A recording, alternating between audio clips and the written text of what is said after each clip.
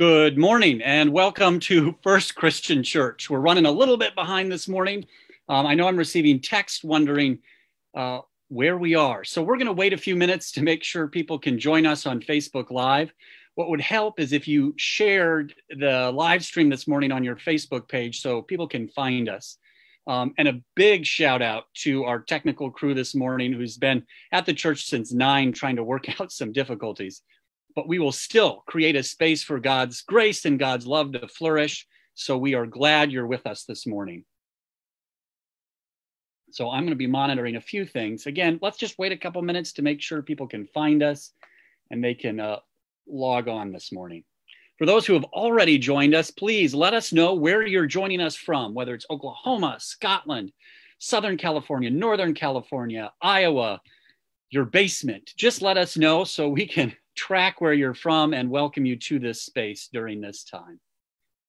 So now that we do have folks coming on Facebook Live, I just want to say welcome to First Christian Church of Burbank this morning.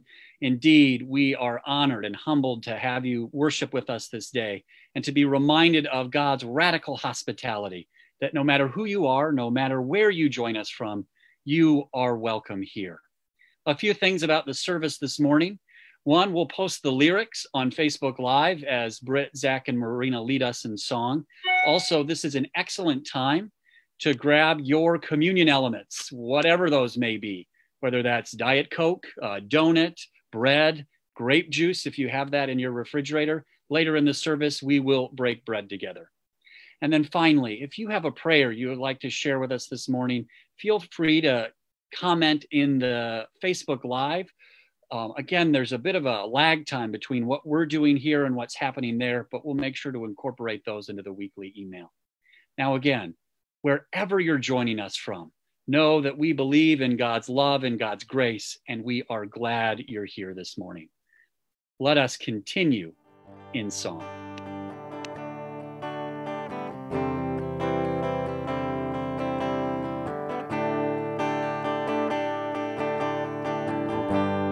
Sometimes the night was beautiful, sometimes the sky was so far away.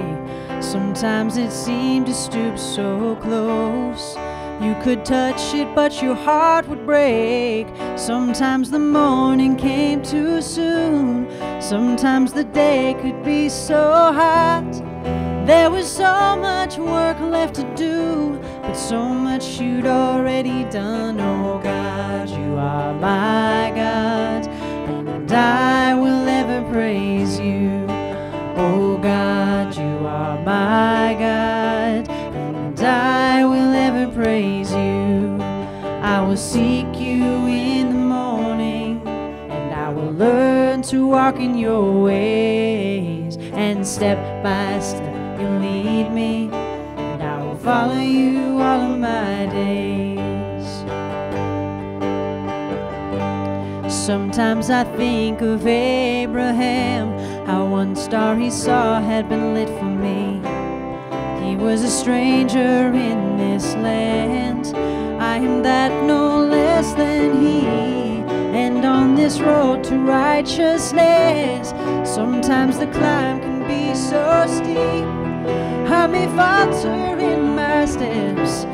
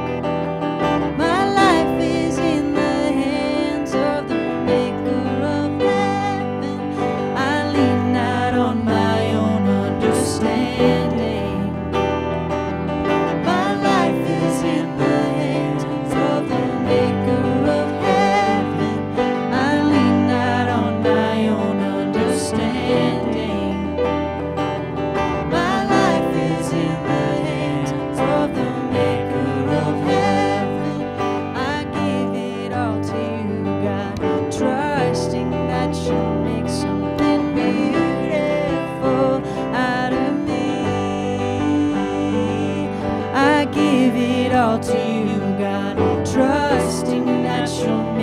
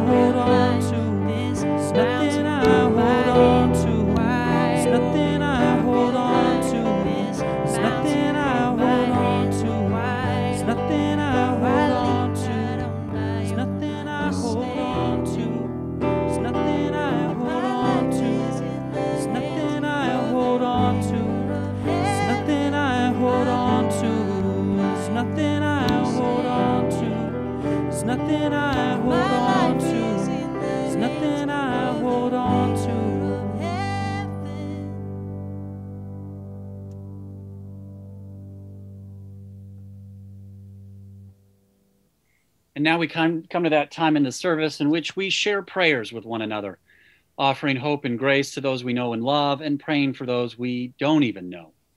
Um, in a few moments, I'll share the prayers from this community of faith.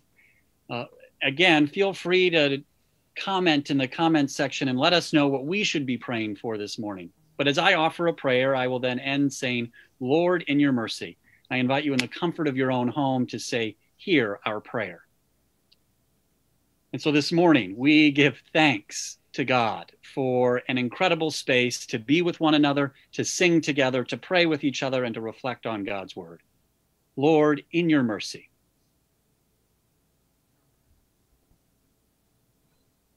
We pray to God for health and healing for a myriad of people in our congregation and beyond, such as Sarah Hopmeyer's grandmother, Pam J., for Beverly Watson's great granddaughter who was hospitalized this past week in Oklahoma. God, in your mercy, we pray for those who are unemployed and underemployed. May they be surrounded by comfort and peace in this most unpredictable time. God, in your mercy. We pray for those who are experiencing the fires, not only in California, but across the United States.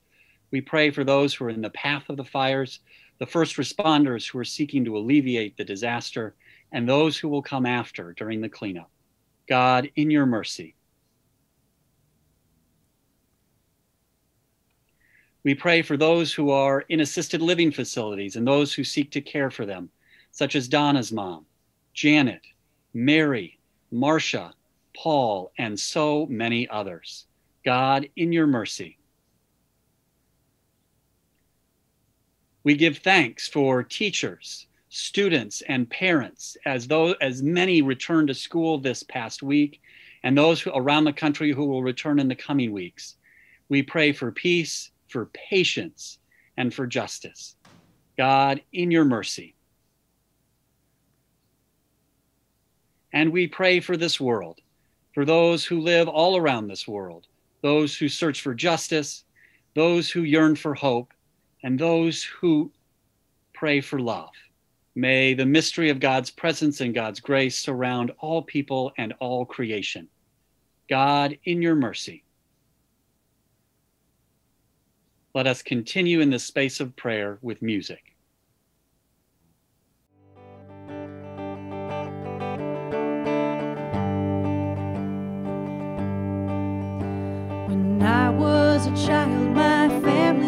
Travel down to western Kentucky where my parents were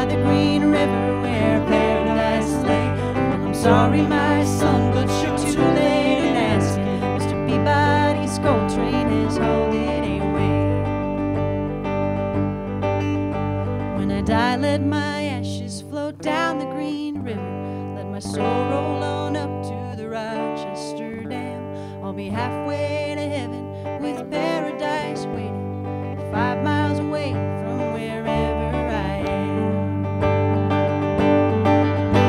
And Daddy, won't you take me back to Muhlenberg County, down by the Green River where paradise lay? Well, I'm sorry, my son, but you're too late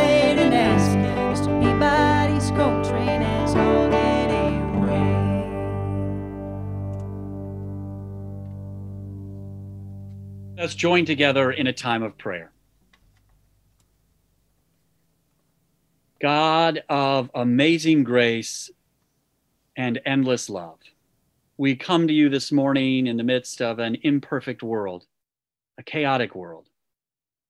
We turn to the mystery of your presence for peace, hope, and simple yet ordinary reminders of your love. This morning, you have heard us name our prayers out loud. Prayers for health and healing, prayers for comfort, prayers for uncertainty, and prayers in the midst of natural disasters. We simply ask that that same mysterious presence that is wrapped up in love and grace surround our collective lives, giving us peace where there's uncertainty, giving us hope where there's distress and reminding us of love where there is deep discord. God, we also pray for this community of faith that we continually and boldly step into your call to love all, regardless. We pray for this community of faith that we might continue to be a place of hospitality, spiritual development, and your grace. And finally, we pray for this world, for your entire creation we pray for those seeking justice. May we experience your liberation. We pray for those who experience distress. May we ground ourselves in your hope. And finally, may you take that same amazing grace and unending love, weaving it into the very fabric of our lives, continually calling us to be your people and your kingdom in this world. We ask this all in your name. Amen. Luke 5, verses 37 to 38. Jesus told them a parable, and no one puts new wine into old wineskins. Otherwise, the new wine will burst the skins and will be spilled, and the skins will be destroyed but new wine must be put into fresh wine skins. Thank you, Sandy. Sometimes I am convinced there are two kinds of people in this world. I, I know we're not in a binary world, but travel with me for a minute to cleaning out closets and spaces in our homes. I believe there are those people who can do it with great speed and gusto, taking old objects, pictures, documents, and simply putting them in the places they need to be, whether that's in storage bins or filing cabinets, and simply move on. And I believe there's a second kind of person, and that would be me, who, as I begin cleaning out a closet or a room, I get caught up in those pictures I get caught up in those old objects telling stories. I've even been known as I prepare to move to call multiple friends and rehearse those stories as I go through all the things that probably just need to be thrown out. The truth is, there are a myriad of people like us that when we sit down on a floor to clean out a closet or a room or to get rid of old things, we dwell on those things, holding them, treasuring them, harkening back to a different era and a different time. You know, the truth is, it's quite ordinary to do that, I think. And that's where we get the parables this morning. Last week, Aaron Wathen from Week of Compassion started us off on a new sermon series that for the next two months will focus on Jesus' parables. The parables that we can find in the Gospels of Matthew, Mark, Luke, and John. The parables are a particular way in which Jesus opened up the marvelous and mysterious nature of God's kingdom and in some way broke open our own lives. Because the parables are just that ordinary objects drawing our attention in. Jesus took ordinary objects and people from his own time and use those experiences and those examples to teach about God's love, to teach about ethics, to teach about call and the mystery of God's grace.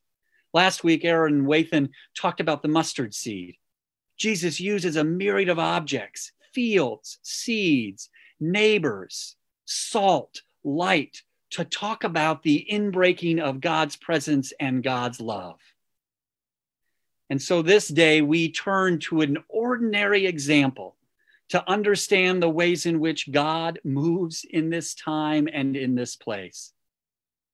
And so I return to those two people that exist in, our, in my world, those who are able to move without, without hindrance into new possibilities and new opportunities.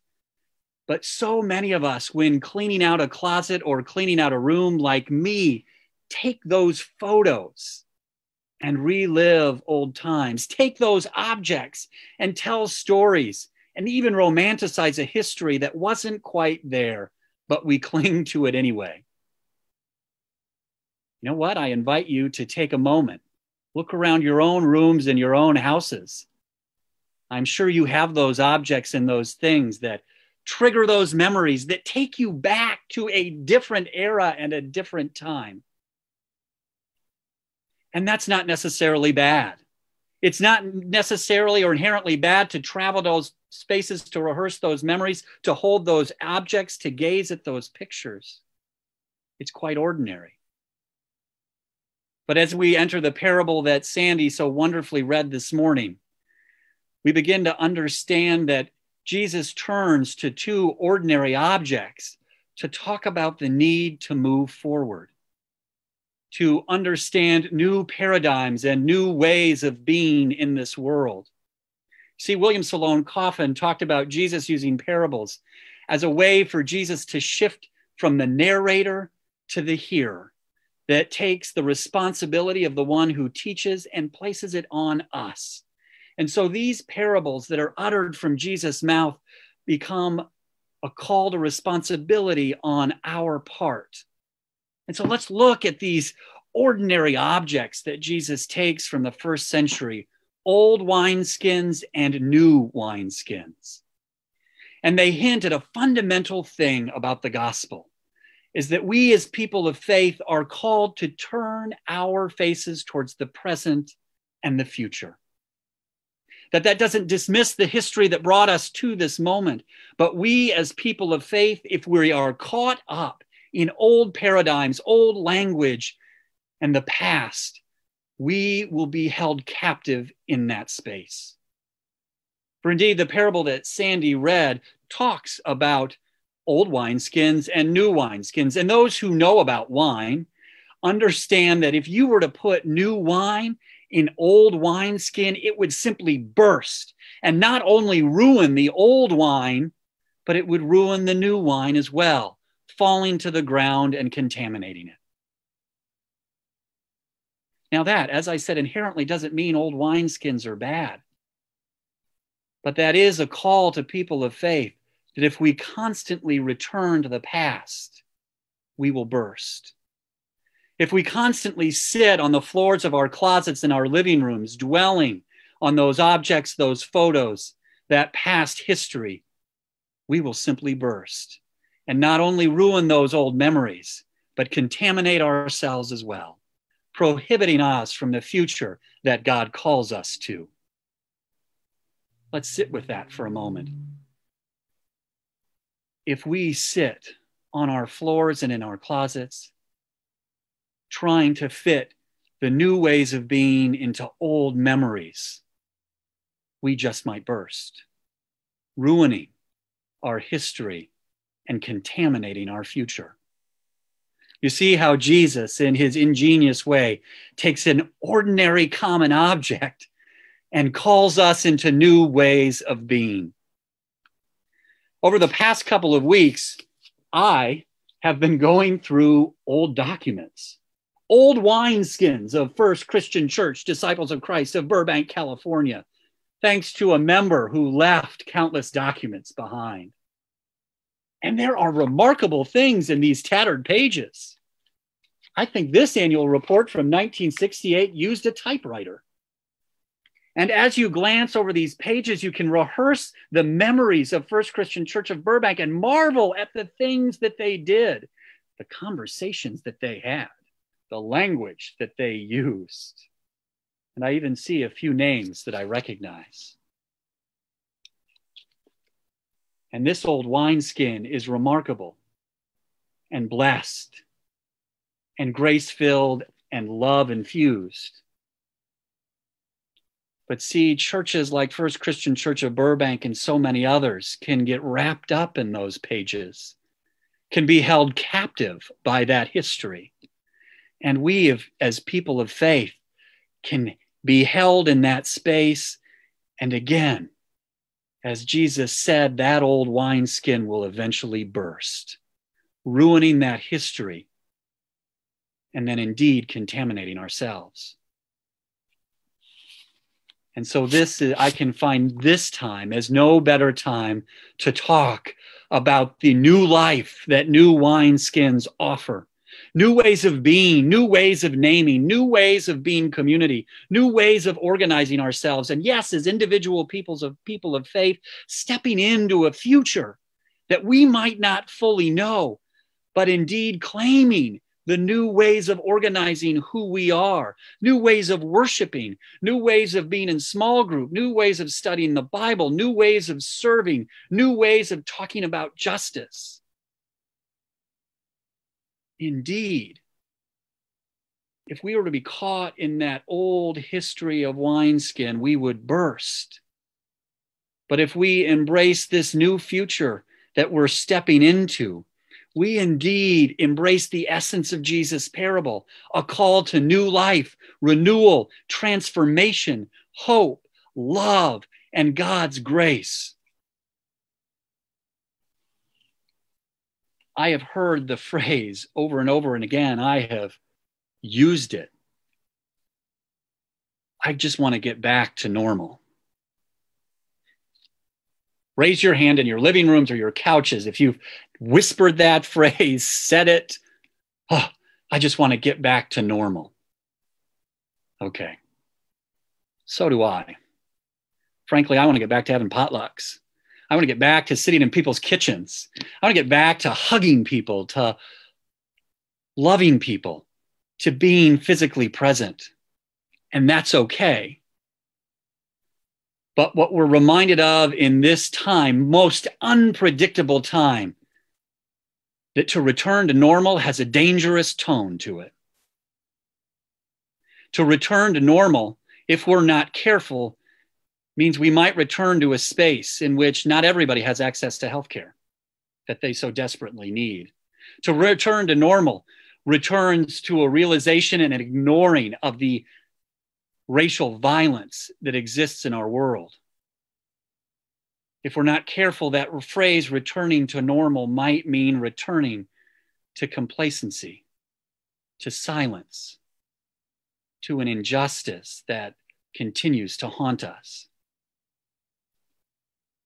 But if we embrace this remarkable parable, we are called as individuals and as people of faith and as a church to put one foot in front of the other and to begin to create a new world, a new normal, and a new way of being in which those we work, study, and pray with are honored in their complexity and in their God given identities. That we, as people of faith, push and challenge for a society that lets go of some of what held us captive before this season that we as people of faith begin to try to build that world that indeed embraces the new wineskin that we're beginning to live into and pour our lives into. That indeed there are afternoons in which I've found myself sitting on my floor, yearning to return to normal. And there is a safety and a comfort in that, don't get me wrong. But we as people of faith are in some mysterious, bold, prophetic way called to step into a new reality. Work for it, struggle for it, ask for it, pray for it, organize for it. And as for this church, I will always be in awe of what has come before us. But I will be overjoyed and excited as we step into this new future. And so, what does this new future look like? I'm not entirely clear, but I do know it involves making space for imperfect worship services online. I know it involves hanging a Black Lives Matter banner outside our building. I know it involves opening up our sidewalk for creative space for people to talk about grief, pain, justice, hope, God's love. I do know it means welcoming members from a virtual community who might be a thousand miles away from here, but still praying for them, standing with them, and building a world in which we all can live together. You know, there might be two kinds of people in this world those like me who cling to that, wanting to be normal again, gazing at those pictures, excitingly reading old annual reports. We're okay. We're inherently good, but we must challenge ourselves to live into being new wineskins for a new time. New wine that will quench new thirsts new people that will embrace God's love. You see, when Jesus spoke in parables, he took ordinary things to talk about God's love and grace. It is my contention that we are ordinary people called to do extraordinarily new things. May we embrace that future and that reality not only this morning, but in the days, weeks, months, and even years to come.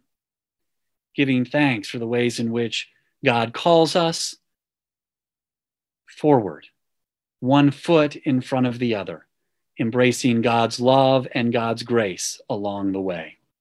Thanks be to God. Amen.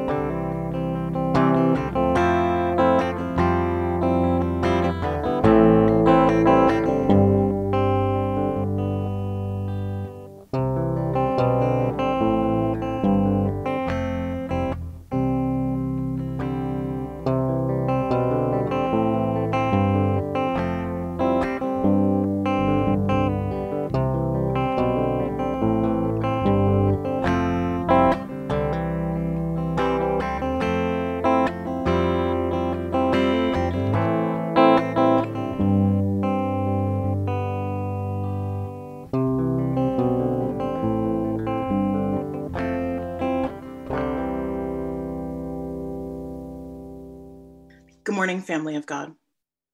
Um, speaking of patience, I'm going to ask for your patience because today um, I not only have a headache, but I'm apparently having one of those days where the, the sermon uh, personally attacked me. no, no, no, no, Brandon. I know it wasn't on purpose, and you you can't know that I'm one of those people, and have always been one of those people that when I go to organize something, um, I get mired in the memories of it just always. So um, it, it was just a little little on point for me today. So I'm a little bewildered by that. Um, and I am one of those people that wants things to go back to normal, but I know it's not happening. Um, I know it's never going to be as it was again, that it's going to have to be something new. Um, some of the things that I'm longing for seeing my students' faces, um, not having to worry about what's behind me or who's going to walk through the frame and are they properly dressed. um, there, there are so many things that I miss. Um, there are so many things that I'm tired of. I, I had to take a break from my dog the other day because we had just been together for like five months. So I needed that little break. Um, there are so many new things to learn. Um, just in my job, we have three new programs that we're using all together to try and teach. There are so many new things. Um, so I, I know it's difficult. Um, but there are two new things that maybe not new to some of you. I am very sure that some of you are already using these. Um, but the first, the first new wineskin that I want to point out to you is on our lovely First Christian Church of Burbank website. If you go all the way down to the bottom after our lovely pictures, there's a donate button down there. So you can continue to give to the church and all the missions that we try to believe in and support every and support our church going into the future. So that's one new tool. Um, and it's pretty easy. Like once you get to the website, click and go. Yay. Um, and but the other one is an old thing made new. And this is not the first time this has happened with this it's your communion. And while while we are while we are all having different things for our communion, it is still that meal. It is still bringing us together. It is still us partaking in the body together. Us, even though we are so far apart. So as um, you take your communion elements. Please remember that though you might be alone in your house, though um, it might seem like a lot of new things, might be a lot of new wineskins. Um, it's just, it is, it is still a little bit the same. Take, take that grain, that little bit of the sameness moving forward as we take our communion and say our prayers. Thank you.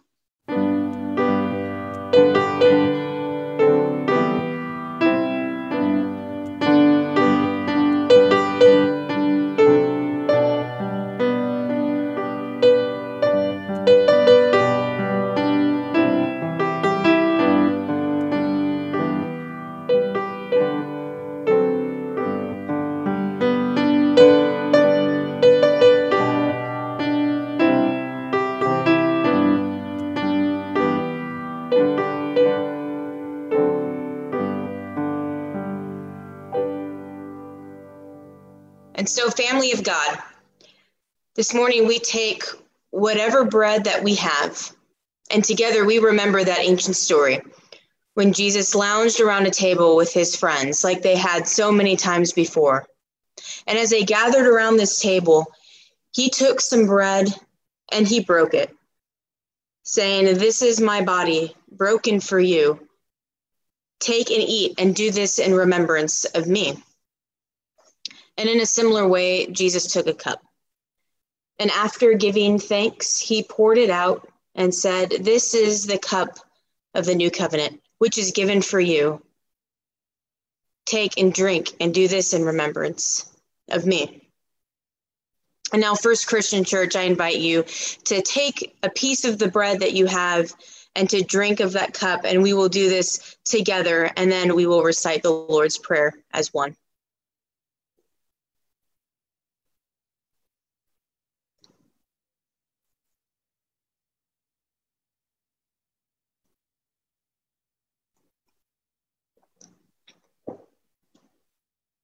Please join me in prayer. Our Creator, who art in heaven, hallowed be thy name. Thy kingdom come, thy will be done, on earth as it is in heaven. Give us this day our daily bread, and forgive us of our sins, as we forgive those who sin against us. And lead us not into temptation, but deliver us from evil. For thine is the kingdom, the and the glory forever. Amen. Here are some of our announcements for today. After our worship service, we will be having coffee and conversation time. It is a great way to catch up with other members of this congregation and see how they are doing. Here's the Zoom ID. Even though we are still having worship online, our congregation and staff are still active within the community and are continuing our work as a congregation with the many missions we support. These missions include Burbank Temporary Aid, Relay for Life, Project Mercy, and Family Promise, just to name a few. By giving your offerings to our First Christian Church, we can continue to make a positive difference to the people in our community and to the world. And here are several ways we can support and give. You can give online by visiting firstchristianburbank.org. You have that? Mm-hmm. Click the link that Kevin posts in the comments section. Text give. Good. Go. you can support by you can support the postal service by uh, giving through regular mail. So I have another announcement too, and it actually has to do with the uh, what would have been this past week with Family Promise. We were to host Family Promise uh, families this past week at First Christian Church. Um, we did support the program, and we continue to do so. There are four mothers and four children in the program, and we provided uh, breakfast items and lunch items and other items for them for the for the week. We continue to be uh, supportive of Family Promise in a lot of different ways. Be, besides the 90 day shelter program that we've been supporting, there are several other um, programs that Family Promise is involved with. And in fact, since COVID started, there have been 31 families who have gone through the program and been uh, rehoused and are supporting themselves through housing just since, since COVID started. So just wanted to make that announcement that we are continuing to do that and we'll do so again when we host uh, families either in our church next year or in the future uh, by, by providing meals for them. And those are our announcements for today. Brandon. Thanks, Dave and Sandy. Um, a few announcements this morning. One is I'm going to be away this week and will be without communication. And so if an emergency comes up or you have questions, please contact our Director of Family Ministries, Reverend Beth McQuitty. Um, she will get you the resources you need or, or find a way to do that. Um, but again, if you send me an email or a text this week, I won't be able to reply till the end of the week. That being said, our Thursday evening prayer check in service is still happening Thursday at 7 p.m. Um, there will be information in the weekly email about that and posted on Facebook. But that is to say, our Wednesday evening study will not be happening this week. And finally, for any of you guests and visitors out there, if you want more information about this community of faith, say something in the comments section, send us an email, a Facebook message, find a way to get a hold of us, and we'll make sure to incorporate you into our communication. And a special thank you to our tech team and our entire worship team this morning. It was unpredictable day, but we still rest in God's grace. And so, Britt, uh, Zach, and Marina, I'm turning it over to you.